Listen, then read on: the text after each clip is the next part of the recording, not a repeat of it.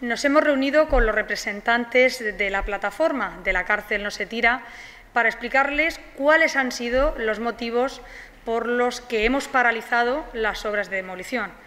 Les hemos dado todo lujo de detalles, hemos intentado aclarar todas las dudas que también nos iban planteando y les hemos indicado que lo que ha hecho el propietario es no cumplir los límites que se fijaba en la propia licencia eh, que le dio el ayuntamiento para la demolición del muro exterior en el que se han abierto un acceso.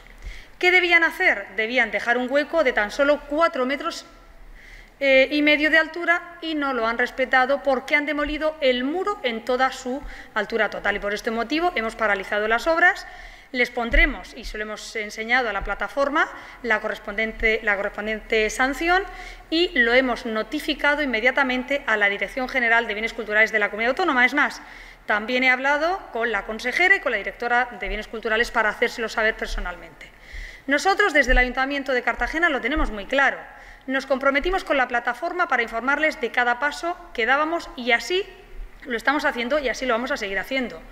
Los actuales propietarios de la cárcel la adquirieron en el año 2017 y solicitaron, hay que recordar, su derribo total, a lo que el ayuntamiento dijo que no y no concedió la licencia avalado por los informes de la Dirección General de Bienes Culturales. Ante esta negativa municipal, la empresa presentó, recordarán ustedes, en 2019 una querella eh, por prevaricación continuada contra mí, contra mi persona, pero el juzgado de instrucción número uno de Cartagena indicó a finales del año 2019 que no cometí ningún delito de prevaricación administrativa, sino todo lo contrario, que además actué al al amparo de una resolución del TSJ, del Tribunal Superior de Justicia, y con el objetivo de evitar un daño irreparable mientras la comunidad autónoma decidía si declaraba protegido todo el edificio como BIC, como bien de interés cultural, y finalmente se han protegido diversas estancias que no están incluidas en la actual licencia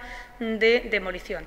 Vamos a seguir trabajando en este sentido de una eh, forma incondicional y con unos aliados principales, que es la plataforma. De hecho, desde que nos reunimos con ellos, al día siguiente, a los dos días, nos avisaron de un episodio que podía haber sucedido e inmediatamente mandamos a la inspección y a los servicios técnicos de urbanismo por si los propietarios también hubieran incurrido en algún tipo de ilegalidad y también tenemos informe de ello y afortunadamente no había sucedido nada. Eso demuestra que seguimos trabajando con la plataforma en defensa de la cárcel de San Antón.